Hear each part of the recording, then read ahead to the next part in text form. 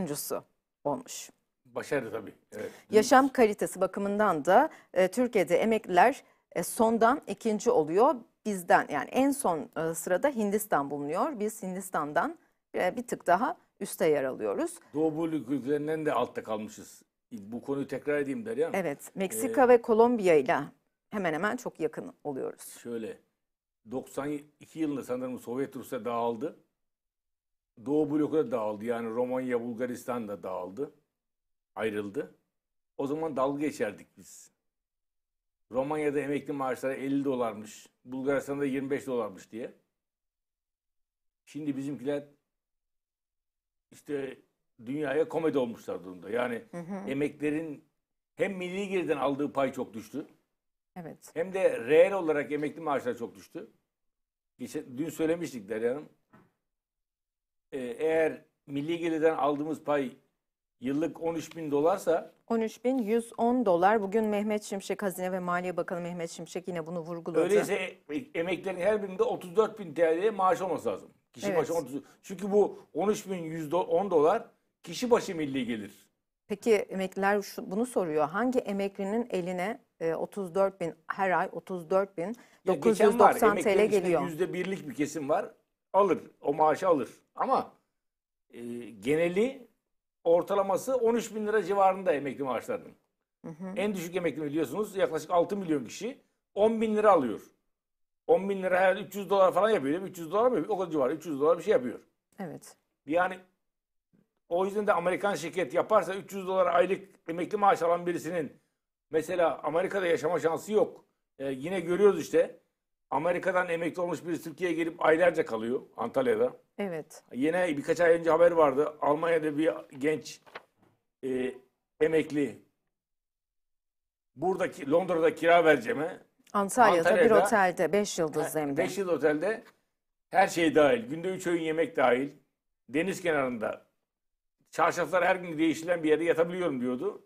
O halimiz meali yani. O yüzden emeklilere bu 31 Mart yerel seçim gelmeden önce bu hükümetin bir zam yapması gerekiyor. Zam demeyeyim de artış yapması gerekiyor.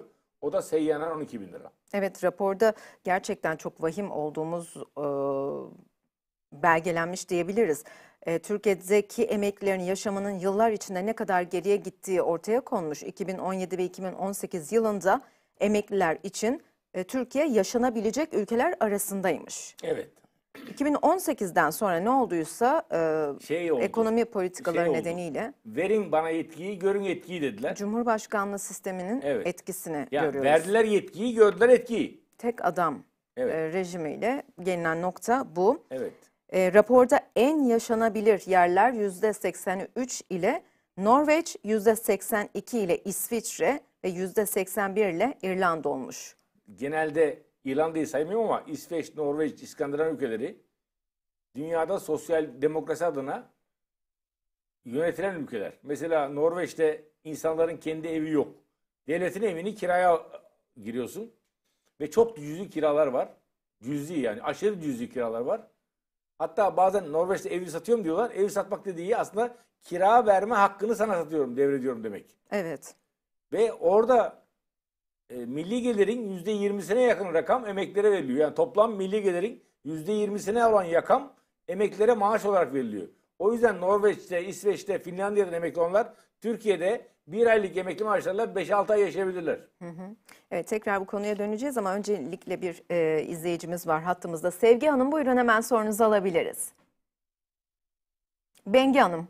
Bengi Hanım duyabiliyor musunuz bizi? Tamam, tamam. Buyurun. Tamam, duyuyorum. İyi yayınlar diliyorum. İyi yayınlar. Ee, benim e, ben birinci derecenin dördüncü kademesinden emekliyim. Mesleğin Ee, ne Bengi Hanım? Ek göstergen ne? emekli oldum. Ek göstergen ne? Ee, 2800 ek, ek göstergeden maaş alıyorum. Tamam. Ee, 3600 ek göstergeden neden yararlanamıyorum onu öğrenmek istiyorum. Şimdi o zaman Bengi Hanım 657 sayılı devlet memurları kanunu var. Evet, O kanunda 7 tane sınıf sayılır. İşte emniyet hizmetleri, sağlık hizmetleri, eğitim hizmetleri, genel idari hizmetler, MİT hizmetleri gibi sınıflar var. O Evet. sınıflara göre ek gösterge bellidir. Senin sınıfın neydi? genel idari hizmetler benim Tamam, sınıfım. genel idari hizmetlerde ancak daire başkanı olursan, genel müdür yardımcısı olursan, genel müdür olursan mesela daire başkanı 3600'dür. Genel müdür yardımcısının 6400'dür. Genel müdürün 7000'dir. Diğerlerin Evet. 3600'den azdır. Genel idari hizmetler sınıfında olduğu için ve Evet. vatandaşların birçoğu 3600 ek göstergeyi talep ediyorlar. Evet. Bir kısmına verildi. Daha da şöyle yapıldı. Herkese 600 puan verdi dediler. 600 puan. Seninki de Evet. 2800 ama o 3400'dür şu anda. Ama 2800 ile 3400 arasında emekli maaş farkı 5 liradır. 3600 Hı. aşınca çok yükselir. Özel hizmet tazminatından dolayı. Yani Evet. senin genel idare hizmet sınıfı olarak daire başkanlarına azsan mesela şube müdürü 3600 değildir. Sen şube müdürlüğü yaptın mı Evet. hiç? Ee, yani şube müdürlüğü yaptım ama re- resmen atamam yapılmadan. Ee, Vekaleten beş veya sene- tedbiren oldun. Vekaleten. Vekaleten yaptım. Tamam şube müdürünün de zaten 3600 değil. O yüzden Anladım. bu ancak kanun değişikliği olur Bengu Hanım. Evet. Yani şu durumda yararlanamıyorum öyle mi? Evet yeni bir yasa çıkması lazım. Sizlerin 3600'e çıkarmaları lazım. Peki e, Ali Bey bir şey daha soracağım. Bu Buyurun. e, 3600 e, sayılı e, şeyde e, ek göstergenin bir yasası şey yapmış da G maddesinde uzmanlardan bahsediyor. Doğrudur. Onlara da girmiyor muyuz? Hayır bak şöyle uzmanlar da ikiye ayırmış. İllerde Evet. kadro olan uzmanlar, bakanlıklarda kayıtlı olan uzmanlar. Bakanlıklarda olanlara 3600 veriyorlar. İllerde olanları vermiyorlar. Mesela gelir uzmanları Hmm. var Maliye Bakanlığı'nda. Evet. Gelir uzmanları illerdeyse onlara 3600 yok. Merkezdeyse var. Kadrosu Yani- nerede ona bağlı. Haksız. Evet. Evet. Ama evet. bu konuyla ilgili talepte bulmaya devam edin siyasilerden. Cumhurbaşkanı'na talepte bulmaya devam edin. Biz de 3600 ek gösterge istiyoruz diye. Evet, evet bulunuyoruz ama yani bunun için hani bir e, şeye de Sosyal Güvenlik Kurumu'na falan bir Senin, müracaatta bire, Bengi Hanım, bulunmaya senin gerek- bireysel olarak yapacağın tek şey Evet, Cumhurbaşkanı'na mektup yazmak, bakanlara mektup yazmak, meclise mektup yazmak. Evet. O kadar. anladım, anladım. Peki, Peki iyi- çok teşekkür iyi ediyorum. günlerdir. Evet Ali Bey, e, Teşekkür- bugün e, Hazine ve Maliye Bakanı Mehmet Şimşek konuştu. E, biz esnafımızın, çiftçimizin, işçimizin, emeklimizin sorunlarını biliyoruz Tamam. dedi. Çözüm E, zaman. programımızı uygulayacağız. Dünya ile birlikte zorlu bir dönemdeyiz ama başaracağız dedi. Programımızı sabırla uygulayacağız derken acaba anlamamız gereken e, Evet. Kemer sıkılacak, sıkılacak Nisan artık nefessiz kalacağız 1 anlamına Nisan geliyor mu? şakalar olur ya Derya Hanım. Evet. Şimdi 30 Mart'ta seçim olacak. 1 Nisan'dan itibaren yüklüce vergi göndereceğiz. Çok vergi ödeyeceksiniz. Şu anda geçinemiyoruz diyor bağırıyorsunuz. 1 Nisan'dan sonra daha çok bağıracaksınız diyor. Evet. Yani e, emeklimizin sorunlarını Kemer biliyoruz ama diyor. Emekli, işçi, memur, sabit gelirler kemer sıkacaksınız. Daha az para harcayacaksınız. Ve geçinemeyeceksiniz diyor Mehmet Şimşek. Evet. Biz bu enflasyonun yükünü size aktaracağız diyor. fatura emekliye kesildi. Emekliye ve çalışana.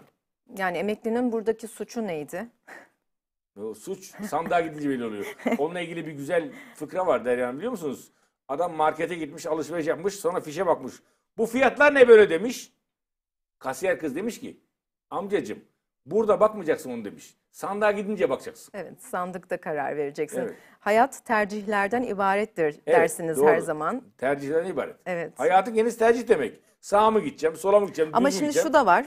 İnsanların şimdi e, AKP, AK Parti'ye oy veren seçmen için e, tercih AK Parti dışında o, o gelenekten başka e, o gelenekten gelen başka bir parti olmadığı için Yeniden tercih Refah var. yoktu. Şimdi yeni yeni yeniden Refah Partisi bu seçimde biraz böyle Saadet hareketlenmeye başladı. E, dolayısıyla yeniden Refah Partisi AK Parti seçmeni için, oradan kaçan seçmen için, umudunu yitirmiş seçmen için bir alternatif oldu. Ama Hanım bak Ee, Fatih Erbakan'ın bir açıklaması var. Evet.